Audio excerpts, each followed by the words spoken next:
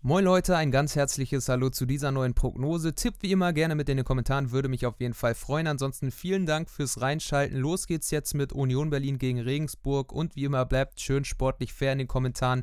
Übrigens, das soll nochmal dazu gesagt, manche wissen das nicht, ich spiele die Partie nicht selber. Ähm, die Playstation steuert beide Teams. Ich habe mit dem Ausgang der Partie nichts zu tun und deswegen, ähm, ja, macht mir da keine Vorwürfe. Das ist FIFA und ich kommentiere es dann einfach. Los jetzt äh, mit der Freitagabendpartie. Der erste FC Union Berlin empfing am 29. Spieltag am Freitagabend den SSV Jahn Regensburg und die Berliner gerieten hier früh unter Druck, weil der SSV Jahn eine richtig gute Leistung zeigte. Überhaupt eine überragende Saison im zweiten Zweitligajahr der Regensburger. Hier dann die erste Möglichkeit, aber noch kein Problem für Gikiewicz. Dann auch mal Union Berlin nach vorne. Korea kann es erstmal klären, aber Anderson hält den Ball im Gefahrenbereich. Akaki Gogia, Schmiedebach, super Ball für Mees, der sich da absetzen kann. Und er trifft dann. 24. Minute, das fünfte Saisontor. Bleibt dann vor Penke cool, schiebt ihn ins kurze Eck, nicht zu halten für den Schlussmann der Gäste. Aber im zweiten Durchgang dann wieder erstmal die Gäste besser. Grüttner gegen Gikiewicz. Was für eine Parade und was für eine Chance. Der Ausgleichstreffer wäre durchaus verdient gewesen, weil der SSV Jahn hier eine überragende Leistung ablieferte. Und dann auch wieder zu Standards kam. Und jetzt ist da Talhammer und der macht das Ding rein. Ausgleich in der 56. Minute. Maxi Talhammer gleicht aus. Absolut verdient. Union Berlin nach vorne. Lange Zeit zu harmlos und unsichtbar. Jetzt kam sie aber mal zu einem Konter. Schmiedebach auf Mees. Wieder Joshua Mees, der hat viel Zeit und viel Platz und wuchtet ihn dann rein. Der Siegtreffer in der 78. Spielminute nicht verdient. Aber so wichtig für Union oben dran zu bleiben. Da haben sie mal ihre Spitzenqualität unter Beweis gestellt und siegen dann gegen Regensburg mit 2 zu 1. Aue führte in der fünften Spielminute einen sehr guten Angriff durch und konnte durch Jan Hochscheid dann auch das 1 zu 0 erzielen. In der fünften Spielminute machte er das überragend, da Kevin Müller keine Chance zum Agieren. Heidenheim aber nur wenig später dann mit dem Ausgleich. Robert Glatzel in der achten Spielminute macht er richtig stark. Mendel steht vielleicht etwas zu weit vor seinem Kasten, aber der ist perfekt platziert und dann lässt sich da auch nicht ganz so viel machen. 16. Minute, es war wirklich eine turbulente Anfangsphase. Das 2 zu 1 durch Nikola Dovedan, der frei zum Schuss kommt vor Martin Mennel, viel zu viel Zeit hat und dann das Ding reinhämmern kann. Mennel ist fast noch dran, aber kann es nicht mehr verhindern. Und die Entscheidung in der 45. Minute. Robert Andrich mit dem 3 zu 1. Die Flanke wird länger und länger. Riese verschätzt sich. Andrich steigt dann hoch, verlängert den Ball ins lange Eck. Für Mendel ist nichts mehr zu halten und so gewinnt Heidenheim am Freitagabend mit 3 zu 1 gegen Aue.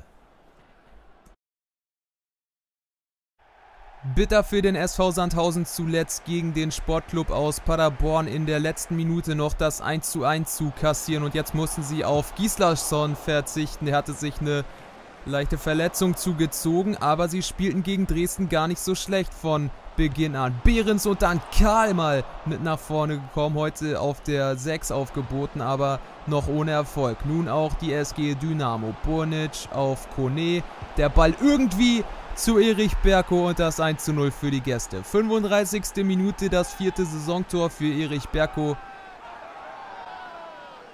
durchaus sehenswert, diese Abnahme ins rechte Eck. Aber Sandhausen brauchte nicht lange, um sich davon zu erholen, spielte sehr gut über Behrens und Andrew Wooten nach vorne und dann das postwendende 1 zu 1. 38. Spielminute, 12. Saisontor für Wooten. Da gibt es ja auch einige Gerüchte, was den Wechsel angeht. Ein Verbleib in Sandhausen ist fast ausgeschlossen. Hier nach einer Stunde setzt er sich dann gegen Bonnet gut durch. Behrens legt auf zu Karl und der scheitert kläglich. Ist eben kein Stürmer. Und jetzt wieder Dresden im Gegenzug. Artig, Berko, Burnic, super Schuss und dann das 2 zu 1. 68. Minute, schöne Staffette. Kone bleibt dann cool vor Schuhen und setzt ihn dann in den Kasten rein. Kone dann mit dem entscheidenden 3 zu 1 in der 79. Ärgerlich für Sandhausen, sie spielten hier lange Zeit auf Augenhöhe, dann wurden sie ja aber überrannt. Sandhausen unterliegt damit mit 1 zu 3 gegen Dynamo und damit müssen sie weiter nach unten schauen. Für Dresden ist der Abstiegskampf damit schon fast vergessen. Nach dem Last-Minute-Sieg in Hamburg wollte der erste FC Magdeburg seinen Dreier gleich nochmal mit einem nächsten Sieg vergolden und da machte Felix Lohkemper in der 20. Spielminute auch per Kopf aus kurzer Distanz das 1 zu 0 gegen Heuer Fernandes und den Endstand erzielte Felix Lohkemper bereits in der 45. Spielminute. Ein Doppelpack des Magdeburger Stürmers, der auch wieder Spieler des Spiels war, klar mit seinen zwei Toren erheblichen Anteil an diesem Spiel hatte, an diesem Sieg hatte. Magdeburg gewinnt also zum zweiten Mal in Folge.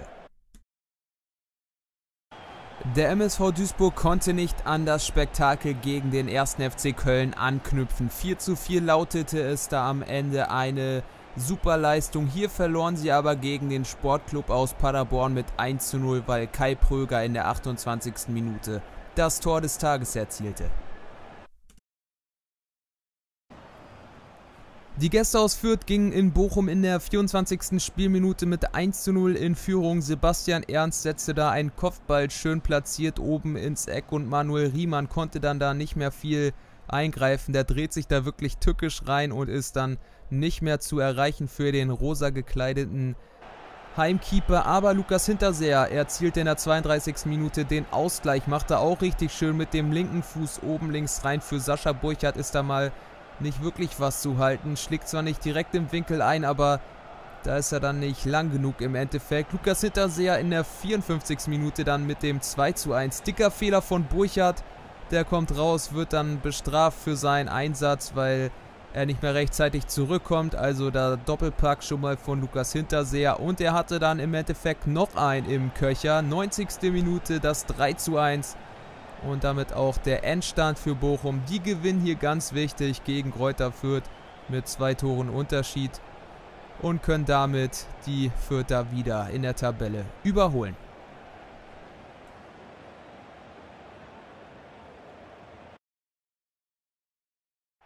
Es ist kaum in Worte zu fassen, wie wichtig diese Punkte für den FC Ingolstadt waren. Zuletzt gegen den MSV Duisburg. Jetzt kamen die Kieler Störche mit dem 2 zu 1 in Unterzahl gegen St. Pauli im Rücken hier in den Audi Sportpark. Die bekamen dann aber erstmal Druck und Kenneth Kronholm muss sich in der Frühphase dieser Partie gleich mal auszeichnen. Über eine halbe Stunde gespielt, die Kieler spielten abwartend und kamen dann jetzt auch mal nach vorne. Dem heute auf der linken Position in der Verteidigung, weil Vandenberg gesperrt war. Da versucht er es dann mal, wird aber abgewehrt, somit keine wirkliche Gefahr in der Szene. Zweiter Durchgang, Holstein Kiel nun etwas produktiver nach vorne. Jason Lee auf Kerazor, der hat den Überblick, da kommt Kammerbauer mit, der ist heute auf der rechten Verteidigungsposition aufgerückt oder reingerückt, spielt auf Mühling, 57. Spielminute, die Gäste wurden jetzt deutlich besser und waren knapp davor, den Treffer zu erzielen. In der Schlussphase jetzt aber nochmal die Schanze etwas besser. Krause, Cohen, Lescano, Gauss zu Kittel und was für eine Chance. 88. Minute, Riesenmöglichkeit, tolle Parade von Kronholm. Und dann nochmal in der Nachspielzeit die Gastgeber, Lescano auf Pledel. Der Ball rollt durch den 16er und Kronholm wehrt den Ball mit den Händen ans Aluminium. Riesenglück am Ende für Kiel hier nicht die Punkte oder den Punkt am Ende aus den Händen zu geben. Ingolstadt hätte vielleicht am Ende sogar den Dreier verdient gehabt. Der FC St. Pauli steckt in einer ganz tiefen Ergebniskrise und spielerisch läuft es auch alles andere als rund. Jetzt kam der deutsche Sportclub aus Bielefeld nicht unbedingt wie gerufen. Die sind klasse drauf in den letzten Wochen und so traten sie auch mit beiter Brust auf. 27. Minute Fabian Klos mit seinem 14. Saisontor hängt den oben rechts rein. Nicht zu halten für Sven Brodersen. Und direkt die nächste Möglichkeit. Pauli verliert den Ball nach dem Anstoß. Vogelsammer legt ihn in die Mitte und dann Jonathan Klaus, der Franzose in der 32. Spielminute. Tolle Tat von Brodersen, Himmelmann-Ersatz. Und wieder eine unaufgeräumte Defensive der Braun-Weißen. Kam jetzt mal vor der Pause endlich nach vorne und zeigt mal eine Offensivaktion. Alagui, Alex Meyer mit einer schönen Drehung, aber auch eine ganz tolle Parade von Ortega Moreno. Hält damit die knappe Pausenführung fest, war auch absolut verdient, dieses 0 zu 1 nach 45 Minuten. Zweiter Durchgang, nun St. Pauli etwas mutiger, mussten sie jetzt auch werden. Alagui aber kein Problem für den Bielefelder Schlussmann. Den fängt er sogar ganz sicher. 20 Minuten vor dem Ende. Nun die Gäste nochmal etwas aktiver. Vogelsammer mit der Flanke. Fabian Klos mit dem deutlich besseren Laufweg als Christian, Christopher Avevor. 15. Saisontor für Klos. Und jetzt war alles klar. Der FC St. Pauli zwar nochmal ehrenwert in der Schlussviertelstunde nach vorne unterwegs. Mats Möller-Deli kann den Ball da behaupten, legt zurück zu Jeremy Duziak, aber da ist Brunner dazwischen und verhindert den Eintreffer für die Gastgeber. Die nächste Pleite also für den FC St. Pauli absolut verdient. Bielefeld war hier die abgezocktere und bessere Mannschaft. Das Topspiel in der zweiten Bundesliga. Der erste FC Köln gegen den Hamburger Sportverein. Der HSV muss nach dem 1:2 gegen Magdeburg am Montagabend hier wieder drei Punkte einfahren. Von hinten drücken etliche Mannschaften, besonders Union Berlin. Hier starteten sie aber miserabel rein. John Cordoba in der fünften Spielminute mit dem 1 zu 0. Ein dramatisches 4 zu 4 der Domstädter zuletzt gegen die Meidericher am Mittwochabend. Hier wollten sie es wieder gut machen. Viertelstunde gespielt. Genialer Ball von Sakai auf Khaled Narei, der heute in der Startelf für den gesperrten Luis Holtby und der bleibt vor Timo Horn aber nicht cool genug. Das muss es sein. Das weiß er. Das weiß ganz Hamburg. 25 Minuten von der Uhr. Wieder mal eine Standardsituation für die Kölner. Beste Stimmung natürlich an diesem Montagabend. Bundesliga-Feeling. Kopfball von Lasse Sobich hat auch mal beim HSV gespielt.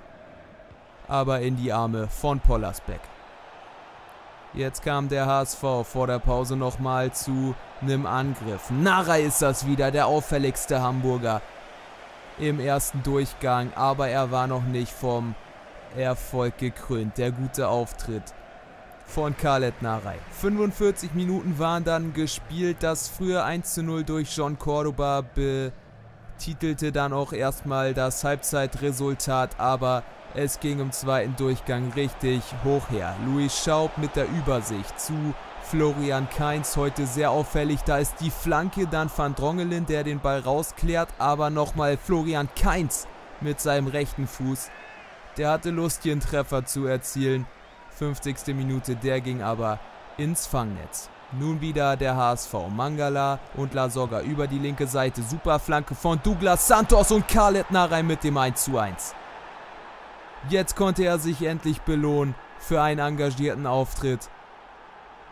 Und nicht der ganz unverdiente Ausgleich zu diesem Zeitpunkt. Der erste FC Köln wieder mit einem Gegentor, aber jetzt Papadopoulos mit dem Fehler im Spiel nach vorne. Florian Kainz zu Clemens, der bekommt den Ball dann wieder, dieser Florian Kainz und jetzt macht er das Ding rein. 61. Minute, wieder die Führung für die Gastgeber. Eben näherte sich Kleins noch an, jetzt hämmerte er den Ball in den Knick. Nur wenig später wieder Köln, jetzt die beste Phase der Mannschaft von Markus Anfang, das 3 zu 1. 68. Minute, was für ein Treffer von Jonas Hector. Noch schöner als der von Schaub. Für den HSV konnte es einem leid tun. Da flogen Pollersbeck die Bälle nur so um die Ohren aber sie gaben sich nicht auf. Die Gäste La Soga zu Mangala und Bakery hatte in der 85. Minute mit dem Anschlusstreffer und die Hoffnung war wieder da. Nur noch ein Treffer und dann zumindest der moralische Punktgewinn gegen den Tabellenführer und tatsächlich gab es nochmal eine Chance für den HSV. Letzte Minute der Nachspielzeit. Das mussten sie am Montagabend selbst zu schmecken bekommen. Jatta mit der Ecke und dann ist da Van Drongelen. Timo Horn verschätzt sich, aber er kriegt den Ball nicht mehr kontrolliert, weil Horn ihn da auch irritiert. Fliegt da vom Ball vorbei, aber es wurde nicht bestraft. In einer tollen Montagabendpartie gewinnt der erste FC Köln gegen den HSV am Ende etwas glücklich mit 3 zu 2.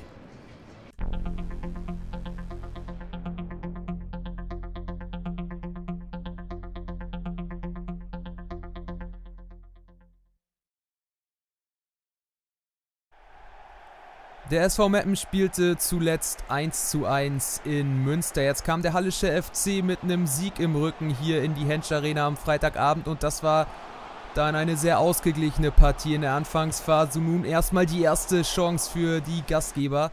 Piosek mit dem Distanzschuss. Aber erstmal festgehalten von Eisele. Nun die Ecke von Jopek. Stark getreten Sebastian May kurz vor der Pause mit dem 1 zu 0 auf dem Schädel. Fehlen dann aber ein paar Zentimeter. Nun wieder die Gastgeber. Stunde gespielt im zweiten Durchgang. Jetzt die Blau-Weißen. Mit der Mehrzahl an Chancen. Schöner Distanzschuss. Aber Eisele zeigt abermals seine Qualität. Ist ein richtig starker Rückhalt geworden mittlerweile beim Hallischen FC. Wir bewegen uns mittlerweile in der Schlussphase und Halle würde gerne hier den Dreier mitnehmen, um die Relegation zumindest noch weiter in Blickweite zu haben. Pascal so mit der Mega-Chance. Trifft er auch nicht schlecht, geht dann aber knapp links vorbei. Und nun nochmal der SV Meppen. Beide gingen auf Sieg und hatte das einer drin. Piosek nochmal. Steckt drüber und das Leugers. Und der macht das Tor. 89. Spielminute. Der Lucky Punch auf Seiten der Gastgeber. Nicht verdient. Aber das ist in dieser Situation egal. Bitter für Halle. Der Punkt wäre am Ende sicherlich verdient gewesen. Meppen macht's in allerletzter Minute. 1860 startete schlecht rein gegen Preußen Münster. Da machte Akono in der 27. Minute das 1 zu 0 für die Gäste und es kam noch schlimmer in der 45. Also unmittelbar vor dem Pausenpfiff köpfte Martin Kobilanski das 2 zu 0 für die Gäste, aber die Löwen konnten dann aufdrehen im zweiten Durchgang. In der 76. gab es dann durch Markus Siereis das 1 zu 2 ebenfalls ein sehenswerter Kopfball. Und in der 84. kam dann auch noch der Ausgleich für die Münchner Löwen. 84. Minute, Philipp Steinhardt bleibt eiskalt, setzt den Ball an den Pfosten von dort, geht da ins Netz und somit trennen sich in einer spannenden und torreichen Partie Münster und 1860 mit 2 zu 2. Braunschweig verlor mit 1 zu 0 beim Tabellenführer aus Osnabrück und Groß Asbach sammelte den wichtigen Dreier ein zu Hause gegen 1860 am Montagabend in der 88. Minute. Braunschweig hier zu Hause, aber vielleicht sogar leicht favorisiert und so konnten sie dann auch durch Jari Otto in der 8. Minute in Führung gehen. Fünftes Saisontor heute in der Startaufstellung, weil Stefan Fürstner gelb gesperrt fehlte. Und eine wunderbare Anfangsphase somit für Braunschweig. Dann aber eine Riesentat von Fasic nach knapp 35 Minuten hatte hier Jonic eine riesengroße Möglichkeit der Ball sollte aber noch nicht rein. Etwas zu zentral getreten. Nochmal vorm Pausenpfiff die Braunschweiger. Janzer über die rechte Seite auch sehr aktiv. Die Flanke von Burger noch abgefälscht und dann ist Bernd Nierich da mit dem Kopf, aber der geht dann nur ans Aluminium. Das heißt, alles offen für den zweiten Durchgang. Braunschweig wollte es aber schnell klar machen und den nächsten Treffer erzielen. 52. Minute, Eckball von der linken Seite, ebenfalls sehr gefährlich reingetreten und Bär testet dann Broll, der reagiert gut aus kurzer Distanz, verhindert er das 2 zu 0. Aber jetzt auch mal wieder Groß Asbach. Viel war von ihm nicht zu sehen im zweiten Durchgang. Fitztum, aber der Schuss ist dann wieder zu schwach, um einen wie Fasic aus der Reserve zu locken. Keine Viertelstunde mehr zu spielen. Nochmal Braunschweig auf Jari Otto von Philipp Hofmann der Ball. Am Ende ohne Ertrag. Dennoch bringt Braunschweig diesen wichtigen 1 zu 0 Sieg über die Runden und damit ziehen sie von Groß Asbach etwas weg und so vor allem auch extrem wichtige Punkte und viel Luft im Abstiegskampf. Der VfR Aalen wurde nochmal am Leben gehalten von Peter Sliskovic in der letzten Minute gegen den FC Kaiserslautern und hier gegen Lotte machte Nikola Sessa in der achten Spielminute ein richtig schönes Tor aus der Distanz, zieht er da ab und lässt dem Schlussmann der Lotter der Sportfreunde keine Chance. 49. Minute. Chateau dann aber mit dem Ausgleich hat etwas Glück, dass er da Geier noch an der Hand erwischt. Ansonsten, oder ob es die Hüfte war, jedenfalls prallt er von diesem Körperteil in den Kasten. 59. Minute 2 zu 1 dann wiederum für den VfR Aalen. Lukas Schnellbacher bekommt den Ball rübergelegt und setzt den dann flach unten links rein. Die Hoffnung keimte nochmal auf, aber in der 75. Minute dann Gerrit Wehkamp nach Pfostenschuss von Toni Jovic staubte ab, hält nur noch den Fuß hin, beziehungsweise schießt mit der Seite ein, aber noch nicht das Ende des Liedes. Luca Schnellbacher Doppelpack, 80. Spielminute, das 3 zu 2, das Entscheidende in dieser Situation und tatsächlich kommen jetzt doch mal Hoffnungen auf für den VfR Aalen im Abstiegskampf. Der erste FC Kaiserslautern spielt in dieser Saison extrem unkonstant und das sah man auch hier gegen Cottbus wieder. Die waren gut aufgelegt, die Lausitzer, und so konnten sie hier dann durch Dimitar Rangelov das 1 zu 0 erzielen. Da waren keine 20 Minuten gespielt, 33 Minuten dann von der Uhr sogar das 2 zu 0 durch Streli Mamba. Lennart Grill hinten konnte einem leid tun, Heino fehlte gelb gesperrt und das merkte man, die Ordnung in der Defensive bei den Roten Teufeln war einfach nicht gegeben. Dann passierte es sogar noch vor der Pause zum 3 zu 0. Jetzt wurde es wirklich rabenschwarz für die Gäste vom Betzenberg. Aber sie machten einfach einen guten Job, eine klasse Partie. Und die Elf von Pele Wollitz glaubte weiter dran, hier den Klassenerhalt noch zu schaffen nach der bitteren 2 zu 1 Pleite in Jena. Dann machten sie sogar durch Marcello Freitas das 4 zu 0. Also bei Kaiserslautern lief wirklich gar nicht zusammen. Immerhin konnten die in schwarz gekleideten Gäste durch Jan Löhmannsröben noch den Ehrentreffer erzielen, auch sensationell getroffen. Schön gemacht, aber für Kaiserslautern geht es dann in der nächsten Woche dann um die nächsten drei Punkte, wahrscheinlich um die goldene Ananas. Ostduell in Rostock im Ostseestadion war der FC Karl Zeiss Jena zu Gast und bei den Gästen ist nochmal Hoffnung aufgekommen nach dem Sieg gegen ebenfalls abstiegsbedrohte Cottbusser. Die erste Möglichkeit hier gehörte aber den Gastgebern der FC. Hansa Rostock erkämpfte sich noch ein 1:1 gegen Fortuna Köln zum Aufstieg wird es vermutlich nicht mehr reichen, aber über Altschwede ging es dann hier immer wieder über die rechte Seite gefährlich nach vorne. Jetzt auch mal die Gäste Tizu, Brückmann und Gelios muss sich mal auszeichnen. 37. Spielminute, offene Partie mit Chancen auf beiden Seiten aber mit noch keinem Treffer nach 45 Spielminuten. Aber Rostock wurde jetzt im zweiten Durchgang noch stärker. Sebio Suku mit der Flanke. Volkmar kann es erstmal klären, aber der FC Hansa bleibt dran. Altschwede nochmal in die Mitte zu Mirnes Pepic. Und dann der Schuss von Öztürk. Gar nicht mal verkehrt. Koppens hält den Ball. Starke Parade. Aber von Jena mittlerweile nach vorne nur noch im Ansatz was zu sehen. Viertelstunde noch auf der Uhr. Rostock drückte auf den Führungstreffer. Schärf mit der Flanke und das dann Cebio Suko und macht in der 77. Minute das 1 zu 0. Sein zehntes Saisontor macht er klasse gegen die Laufrichtung und Coppens kommt nicht mehr an den Ball ran. Fünf Minuten noch auf der Uhr und jetzt wurde von Mervili Biancardi die Chance genutzt, alles zu entscheiden. Der Kongolese mit dem 2 zu 0 und dem verdienten Endstand für Rostock. 87. Minute, jetzt war alles klar. Jena kam nicht mehr nach vorne. Allgemein war das nach vorne deutlich zu wenig von den Gästen und so der verdiente Sieg hier für die Gastgeber.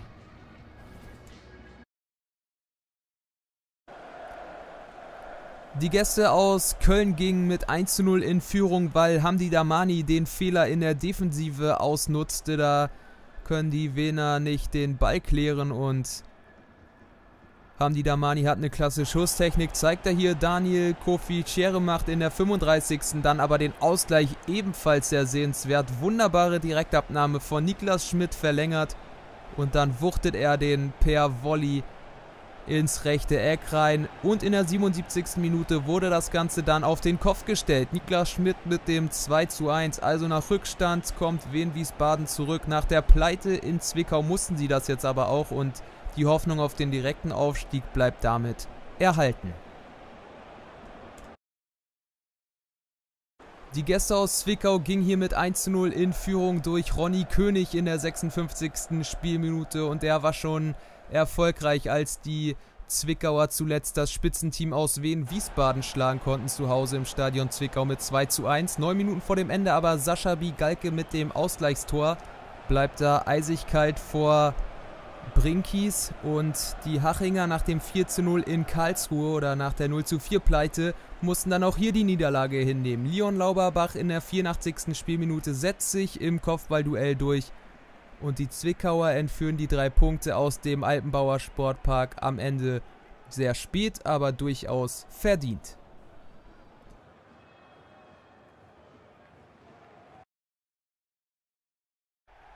Der KfC Uerdingen konnte endlich mal wieder gewinnen und zwar mit 3 zu 1 bei den Sportfreunden aus Lotte. Aber Osnabrück ist nochmal ein anderes Kaliber, spielt hier von Beginn an stark nach vorne, giert auf Anas Uahim und das 1 zu 0 in der vierten Spielminute. Das zweite Saisontor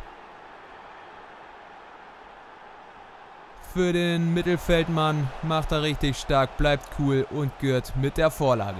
Nun aber auch der KfC Uerdingen mal nach vorne dann Konrad hat die Übersicht und Rodriguez muss es hier machen. In der 28. Minute.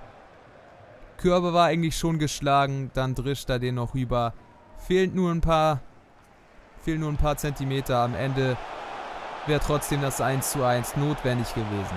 Zweiter Durchgang, die Krefelder noch stärker und dann auch mit dem verdienten Ausgleich. 57. Minute, sein siebtes Saisontor. Stefan Eigner nickt das Ding ein nach Vorlage von Beister. Für Körber aus kürzester Distanz natürlich keine Reaktionszeit mehr. Osnabrück wollte gleich antworten. David Blacher mit der Vorlage auf Benjamin Gürt. Der hoppelt aber nur in Richtung Benz. Und der hat kein Problem damit, den festzuhalten. Trotzdem in der Schlussphase die Gäste nochmal erpicht darauf, den Treffer zu erzielen. Gürt steckt clever durch zu Marcos Alvarez. Kein Abseits und der Siegtreffer in der 84. Minute. So spielt ein Tabellenführer und im Endeffekt wohl auch verdienter Aufsteiger. Oerding schlägt sich zwar gut, aber muss trotzdem die Niederlage hinnehmen. Der VfL Osnabrück als Tabellenführer eben einfach eine Nummer zu groß. Die Würzburger Kickers und der Karlsruher SC beendeten den 33. Spieltag am Montagabend. Achte Spielminute, Standardsituation für die in blau gekleideten Gäste. Die hatten sich warm geschossen zuletzt gegen die Spielvereinigung Unterhaching. Hier war es Gordon in der neunten Spielminute mit der ersten Chance. Die war nicht verkehrt und hätte durchaus schon zur frühen Führung führen können. Und der KSC machte stark weiter. Keine 20 Minuten gespielt. Lorenz mit der Flanke. Kurzweg kann es nicht richtig klären. Stiefler zu Wanizek. Und in der 19. Spielminute stand es dann hochverdient 1 zu 0 für die Gäste. Das war kein guter Auftritt der Würzburger Kickers. Zweiter Durchgang. Sontheimer mit dem Ball jetzt mal über die rechte Seite. Vielleicht jetzt mal über einen Konter. Baumann ist da relativ frei, aber die Flanke ist dann zu schwach. Gordon passt auf, Wanizek köpft das Ding aus der Gefahrenzone. Viel mehr kam von Würzburg nicht und dann nochmal der KSC 10 Minuten vor dem Ende. Fink legt nochmal raus zu Lorenz. Eine klasse Bewegung, was er da macht, ist dann überragend und da sieht er noch Fink, der macht in der 81. Alles klar für die Gäste. 2 zu 0 und damit festigen die Gäste aus dem Wildpark Stadion ihren zweiten Platz. Hochverdient gewinnen sie hier zum Abschluss des 33. Spieltags mit 2 zu 0 gegen die Würzburger Kickers. Jo, das war's dann auch wieder mit der Prognose. Wenn es euch gefallen hat, würde ich mich wie immer über einen Daumen nach oben und ein Abo freuen. Ansonsten vielen Dank fürs Zuschauen, bis zum nächsten Video und ciao.